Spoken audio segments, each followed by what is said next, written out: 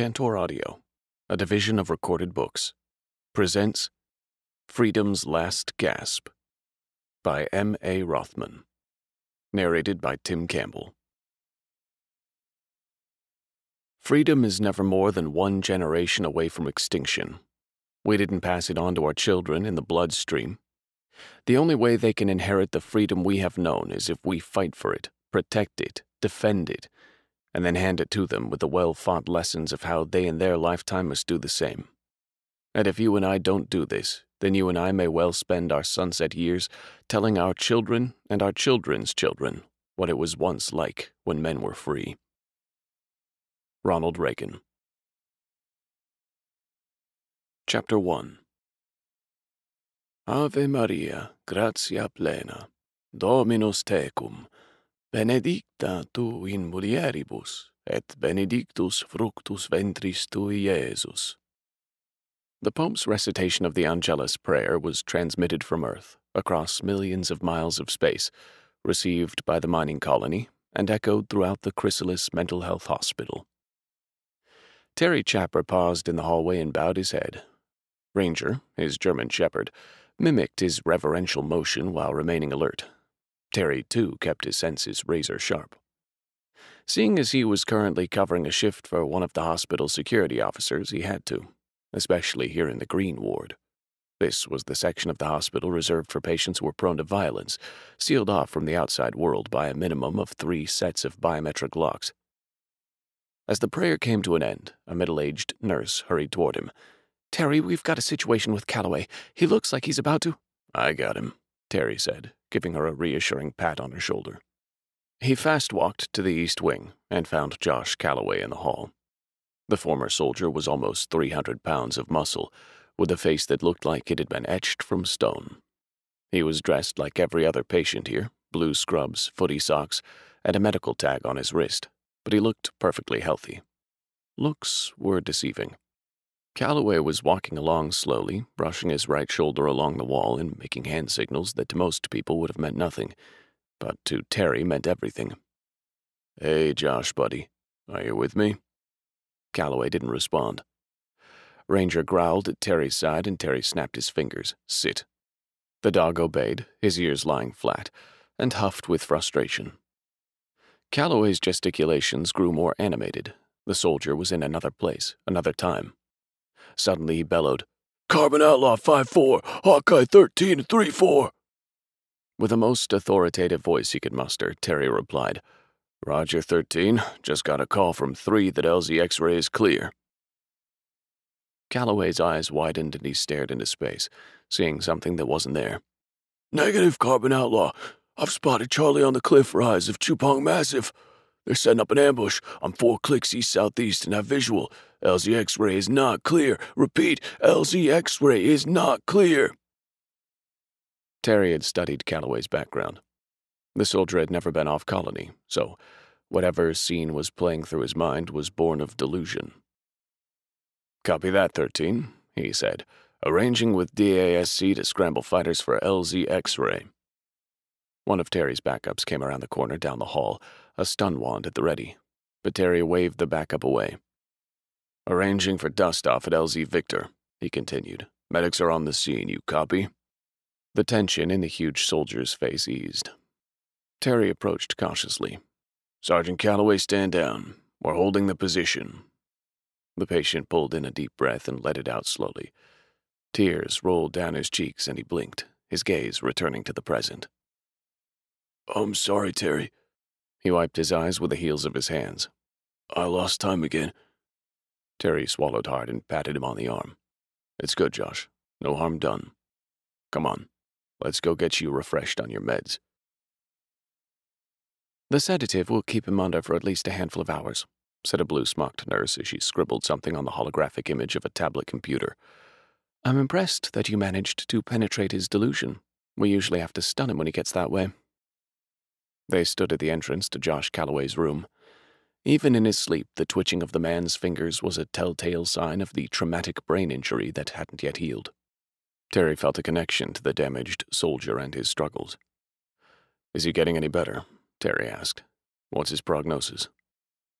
The nurse made the tablet disappear with a swipe of her hand, then motioned for Terry to follow her to the nurse's station. Well, considering the whack he took in that accident practically caved in the side of his head, he's doing fantastic. The nanites are doing their job. I figure in another month he'll be back to normal, though he probably won't remember a lot of what happened.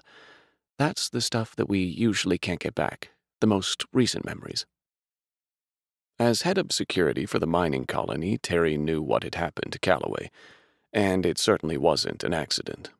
The UN had sent over another spy who had somehow gotten past most of the security checks. But he hadn't gotten past Calloway. The spy ended up ambushing him with a blow that would probably have killed a smaller man.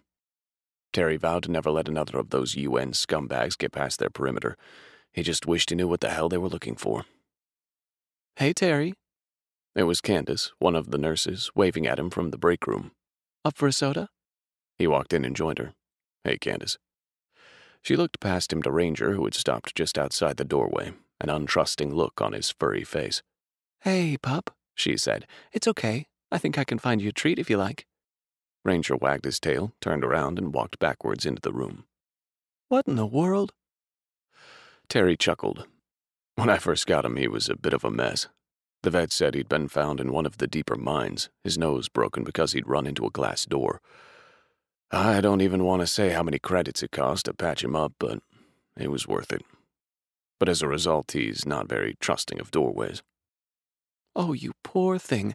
I'm sorry the glass door gave you an ouchie. Candace knelt down and gave Ranger a dog biscuit. He ate it out of her hand, his tail a blur. Terry patted Ranger as he licked up the crumbs that had fallen to the floor. Then he grabbed the dog's face, gave him a kiss on the top of his snout, and said, Damaged goods or not, I wouldn't have you any other way.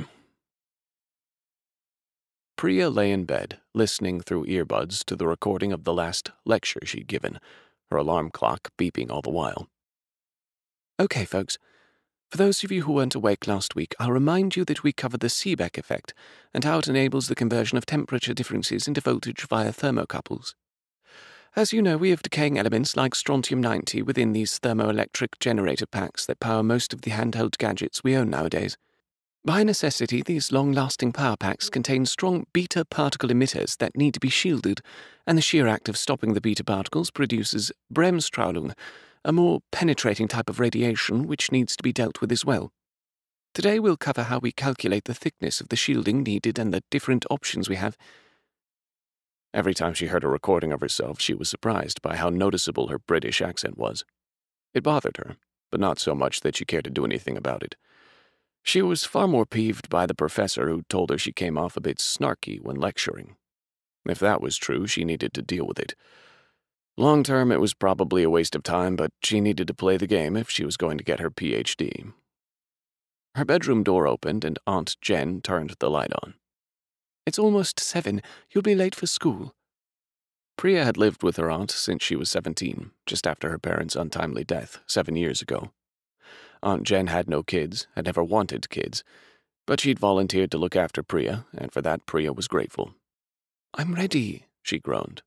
She flipped off the covers, revealing that she was already fully dressed.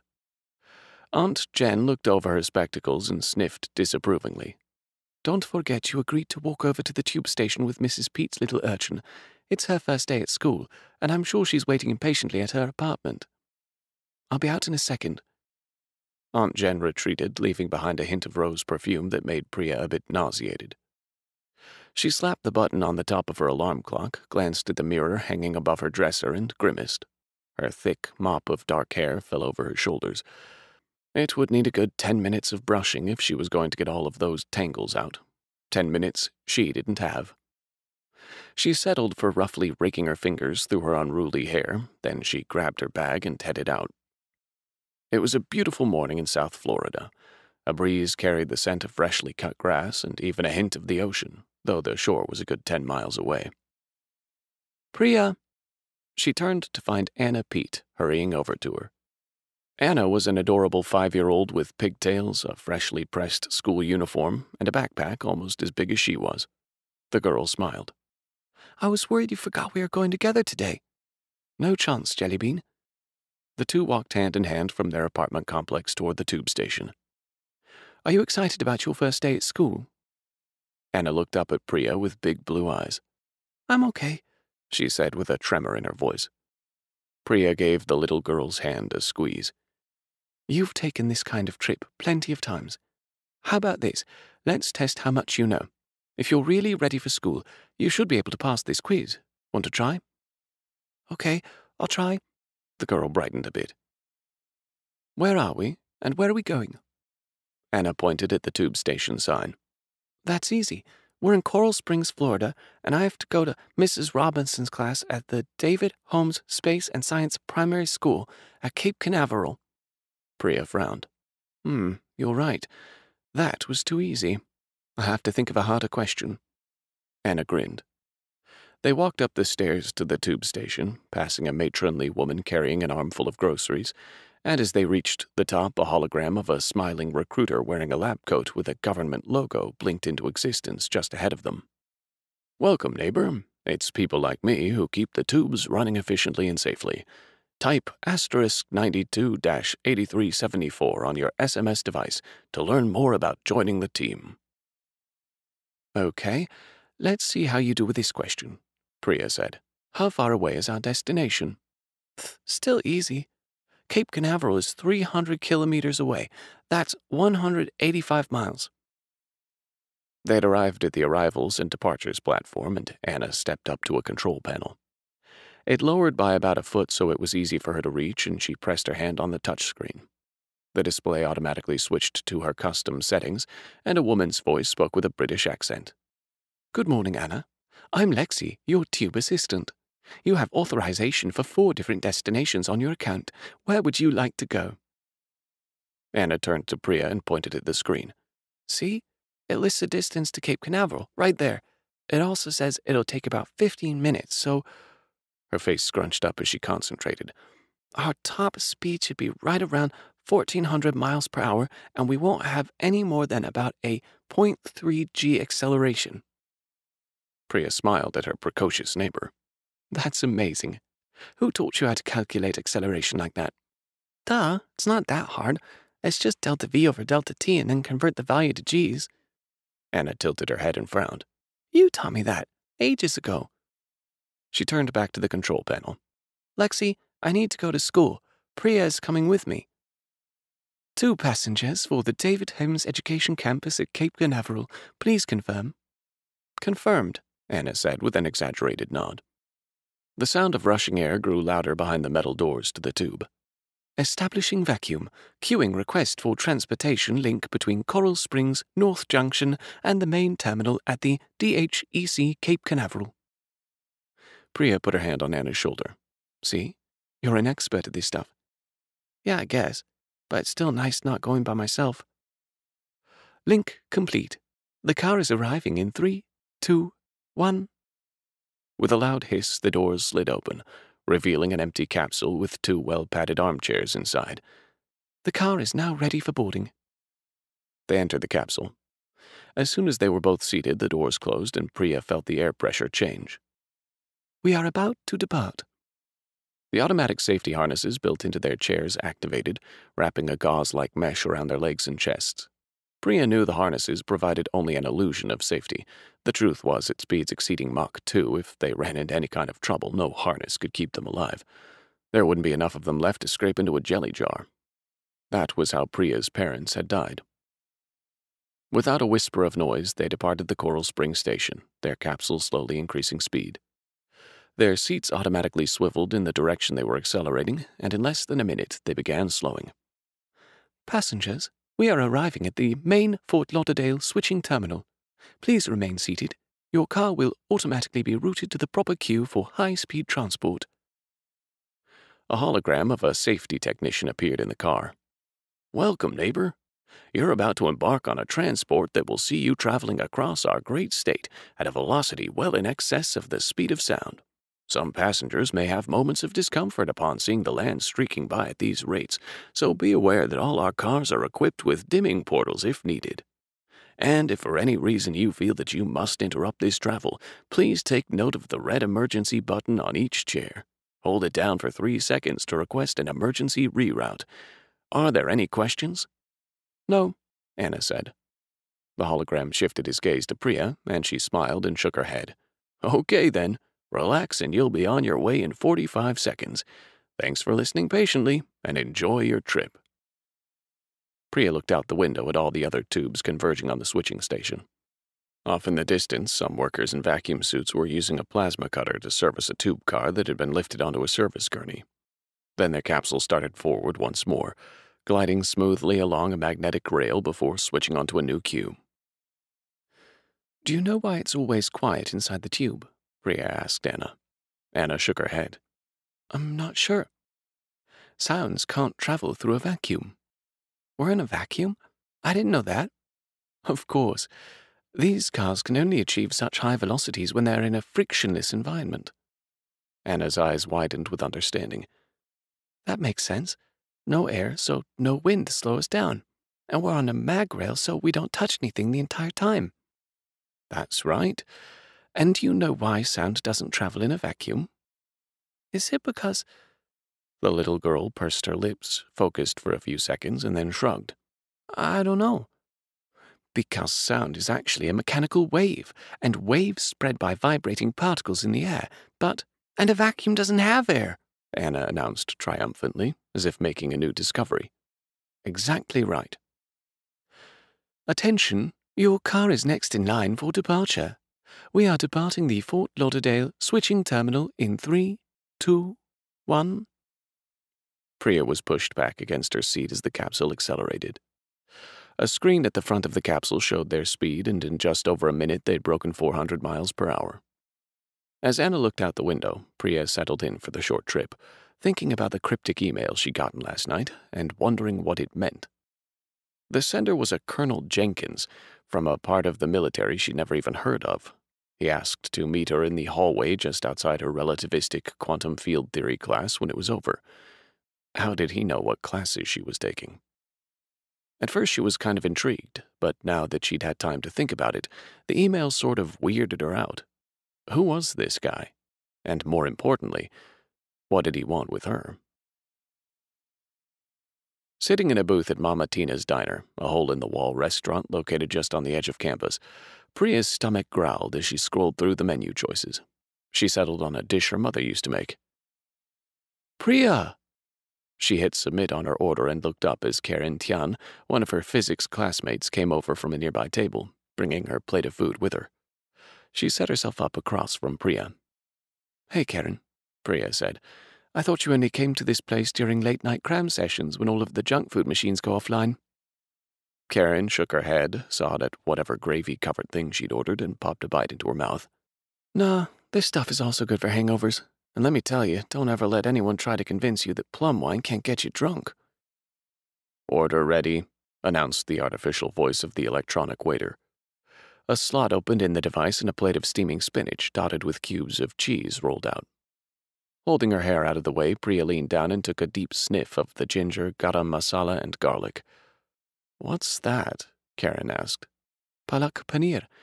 It's a traditional Indian dish. Basically a spinach puree with Indian spices and chunks of cheese. She took a spoonful and chewed on the rubbery vegan cheese. She wished she could find a place that used actual milk based cheese like her mom used to. She pointed her spoon at Karen's plate. And what's that? Karen sawed again at her steak like object. It's an old southern classic chicken fried steak with sausage gravy. A total salt and fat bomb, but it's great for that headache I'm trying to get rid of. She swirled her fork in the lumpy grayish white gravy. Can you imagine they actually used to kill cows and use real cream for this stuff? It's a miracle our ancestors didn't die of embarrassment, much less heart attacks. Just the thought of what they used to eat. She shuddered. Priya smiled. She remembered just how good the real stuff was, and her goal was to eventually find a way to get some. But she wasn't about to tell Karen about her private little heresy. She didn't need a lecture from someone who was barely able to keep up with the school's course material. Wake up. The words were spelled out with taps on her scalp in Morse code. Startled, Priya popped her head up and looked around. Nobody in the lecture hall was paying attention to her.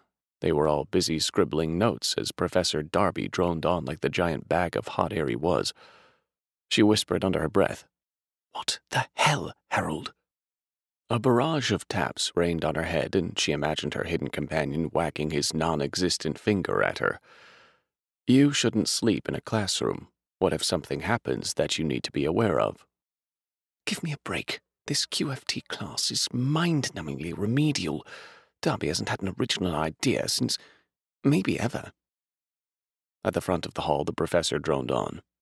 An operator acting on identical bosons can be described in terms of n-particle wave functions, the first quantized formalism, or in terms of creation and annihilation operators in the Fock space, the second quantized formalism.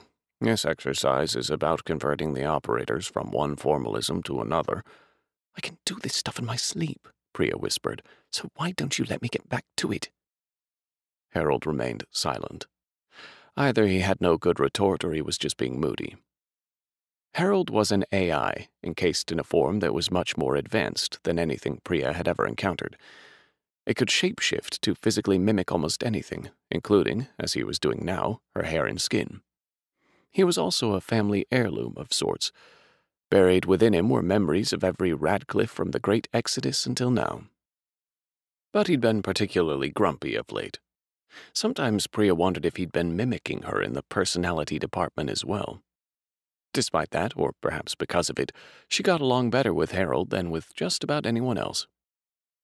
The lecture came to a close and the students began filing out of the auditorium. Priya hesitated to join them, thinking of the odd meeting scheduled for her in the hallway outside. It wasn't in her nature to shy away from confrontation, but then again, she didn't often have to confront unknown colonels with equally unknown agendas. Miss Radcliffe? Priya nearly jumped out of her skin. A tall man in a military uniform was standing right next to her. This must be Colonel Jenkins. I told you you shouldn't sleep in a classroom, Harold tapped, still hiding in her rat's nest of hair. The man extended his hand and gave her a crooked smile. I snuck in while you were napping.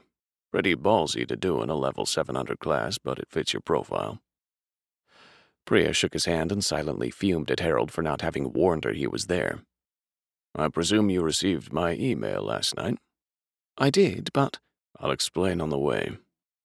The colonel motioned for her to follow as he took a step toward the exit. Priya had to jog to catch up. The man's strides were easily half again as long as hers.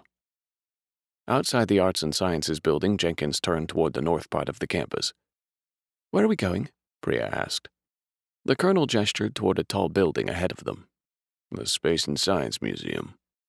The museum? Why? But Priya had a more pressing question. Exactly what branch of the military are you with?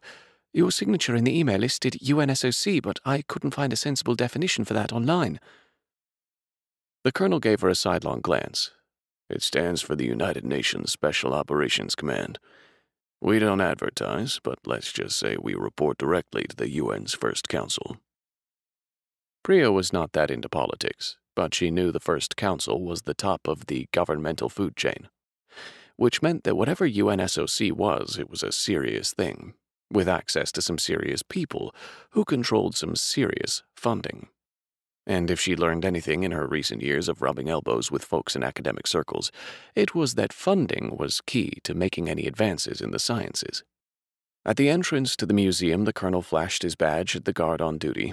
The man nodded, walked them past a line of tourists, and buzzed them through a reserved set of turnstiles. Priya started to ask another question, but Colonel Jenkins held up a hand. Let's go to a secure area before continuing our conversation. Priya pressed her lips together as she followed the man through the museum. To her surprise, her feeling of dread had vanished, replaced by a tingle of excitement. She hoped this was some weird recruiting strategy. She already intended to join the service after graduation, but if he asked her to join now, she might just say yes. As they walked past old mock ups of early space shuttles from the 20th and 21st centuries, a synthesized voice came through speakers in the ceiling. On December 20th, 2019, now known as 47.354 PE, Donald Trump, President of the United States, signed into law the formation of the United States Space Force. It would remain known as the USSF for decades, until 45 years after the Great Exodus. On 45.30 AE, when the Space Force was moved under the purview of the United Nations. Stardate 45 corresponded with the early 22nd century, a time when the separate nations were in the process of merging under one umbrella government led by the United Nations. It was also a period of global unrest.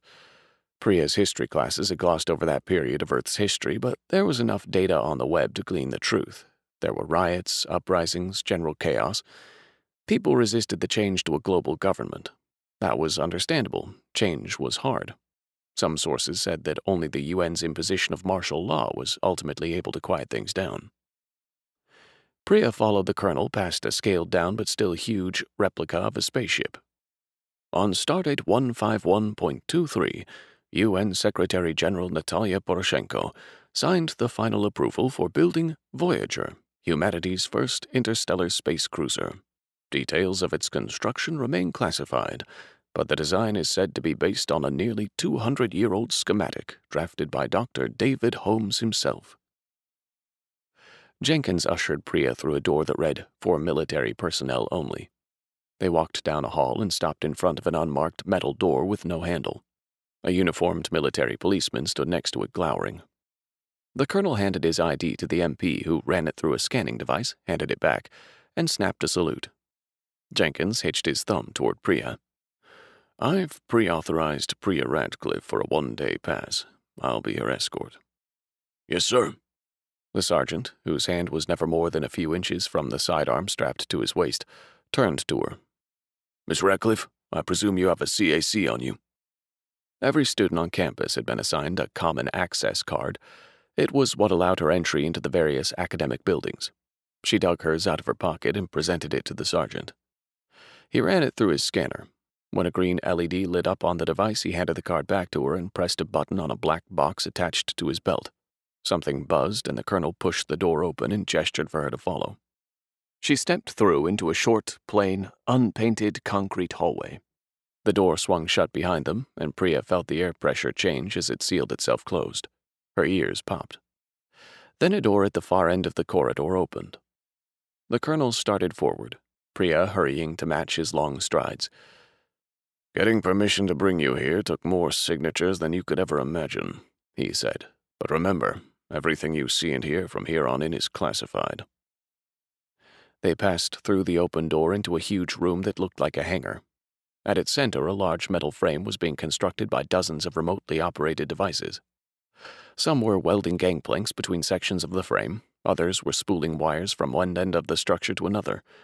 Camera drones flitted through the air, taking images from every angle. Do you know what you're looking at? Jenkins said. Priya couldn't suppress the smile on her face. Over the years, she'd seen plenty of space shuttles and other spacebound ships. She'd seen takeoffs and landings, sometimes from quite close. But this, this was something very different. The structure in front of her was only a small piece of a much, much larger ship, a ship she'd just seen a replica of back in the museum. I thought they were building this up in space, she said, her heart racing. I mean, it can't really be. Is this really a piece of Starship Voyager? It is. Jenkins smiled and pointed from one end of the room to the other. Priya Radcliffe, welcome to SAMR, the Starship Advanced Metallurgic Engineering and Research Facility. This is the heart of Project Voyager. With a curl of his finger, he motioned for her to follow. Let's introduce you to some members of the team. Chapter 2 Priya sat alone in Colonel Jenkins' office. As she waited for the colonel to return, she fiddled with three small cubes of metal sitting on his desk. They looked identical, but they were different weights. A desktop digital scale confirmed it. Harold, what do you think of these? she said. I wonder if it's possible that. Be cautious. Harold tapped on her head. I detected a radio frequency transmitter activation nearby just as you began talking. You're likely being monitored. Priya's words caught in her throat. Why would anyone be listening? Yet she trusted Harold. He was a gift from her parents, and though they didn't have a chance to share much about him before they were killed, they had told her two things to always keep him a secret and to always heed his warnings. She pressed her lips together and tapped her teeth in a rhythm that the AI would detect. Did I say anything wrong? Anyone listening may naturally wonder who Harold is. She winced and cleared her throat. then fiddled with the cubes again and let out what she hoped sounded like a self deprecating laugh. I swear, if anyone heard me talking to a cat that isn't even here, they'd think I gone mental. A cat? Jenkins said with a wry smile as he walked into the office. What? Oh, it's nothing. Priya wondered if Jenkins had been the one listening. I have a cat at home that I'm always talking to. Anyway, I was playing with these cubes and by habit found myself talking to Harold. Meow, Harold tapped. Jenkins chuckled. So, what did you learn by studying those cubes? Priya shrugged. It doesn't take a genius to figure out their different metals. The lightest cube weighs a third of a pound, assuming it's solid throughout, and given it's about 1.5 inches per side, I figure it's aluminium. She picked up a second cube. This one is almost a pound, so I bet it's some form of steel. She picked up the heaviest of the three and smiled. But this material is something new. The heaviest metal, excluding the extremely rare ones, is tungsten, and a 1.5 inch cube of tungsten would weigh just over two pounds. This thing weighs almost five. The colonel leaned forward a bit, his elbows on the desk. What does that tell you? Well, the highest elements on the periodic table are all radioactive, with half lives measured in milliseconds. Since this cube is cool to the touch, it's not obviously radioactive, and I doubt you'd have something radioactive sitting on your desk anyway. So I'm guessing someone has discovered a new island of stability. A nuclear shell construction that's stable and off the literal charts with regard to density. There's no other explanation I can think of. Jenkins grinned. Good. There's no pulling the wool over your eyes. Let's just say you're probably right. The details of the metal haven't been advertised outside of need to know circles, mostly because we aren't sure how to make it. What do you mean? Priya frowned. I'm holding a sample of it. Yes, but we didn't make it. She was about to ask another question when Jenkins held up his hand. Before you even ask, I can't tell you how we've come into possession of it, at least not yet. We do know a lot about it, though. We've done extensive analysis over the last century, and we know its atomic structure, the molecular bonds it forms, and its estimated half life, which measures in the millions of years. More importantly, we know it's the toughest, hardest, and strongest material we've ever worked with. Ideal for the construction of Voyager. Priya hitched her thumb toward the hangar. You mean you're building with this stuff? Just that frame out there would have to be unbelievably heavy. How would you get that into orbit? The colonel smiled wryly. You've caught me in a little white lie. I told you that that frame out there is a piece of Voyager, whereas actually it's more like a 3D blueprint for the actual ship. We build the prototypes to scale here on Earth using more accessible metals. Then we take detailed scans of them and have people in orbit build the real thing with that stuff. He pointed to the heavy cube, then leaned back. But I didn't bring you here just to talk about metals. He withdrew a sheet of paper from a manila folder and slid it over to her along with a pen. We are about to talk about some highly classified information. Before I can disclose it to you, I need you to read and then sign this. It's a pretty standard form.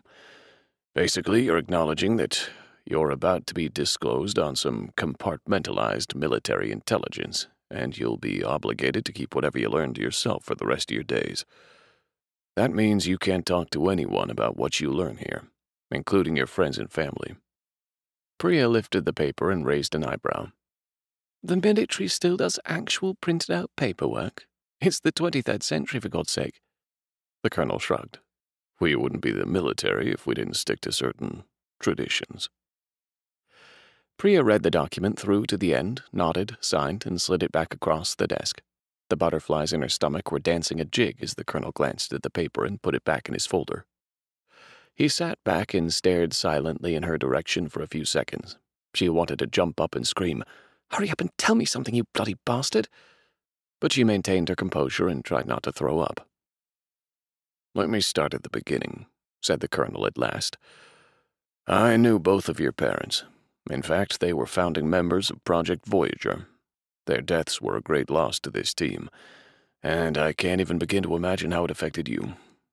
However, I've been keeping an eye on you from afar, especially since you joined the Academy, and I'm very, very impressed. Even though you're taking a heavier course load than most of your peers, you're sitting at the top of your class by a good margin. So, Priya, If you haven't figured it out already, I'm trying to recruit you. Normally, we'd wait until sometime next year before reaching out to prospective recruits, but this is not exactly a normal situation. That was exactly what Priya had been expecting, but she still felt a thrill of excitement to have it confirmed. At the same time, her mind was whirling at the revelation that her parents had worked on this very same project. She'd known that they worked for the military doing science research, but they'd never taken their work home with them. Jenkins continued. Let me ask you a question or two. I know it was before you were born, but what do you think of the terrorist attack that occurred in The Hague against the UN's First Council? Priya sat back, surprised by the question. I don't know that I've ever given it much thought. Of course, I learned about it in school. The attack coincided with the first meeting of the UNFC, the year before, radicals protested the UN's greater role in how resources were coordinated globally. She shrugged. I guess some didn't trust the new court system, the First Council, or perhaps any part of what had to feel to them like a very distant government. They were used to controlling everything themselves. I'd say that's understandable. Still, the protesters had to be mental. Violence wasn't going to help the situation. Jenkins nodded. Okay, and what about the attack seven years ago? A wave of emotion bubbled up inside Priya.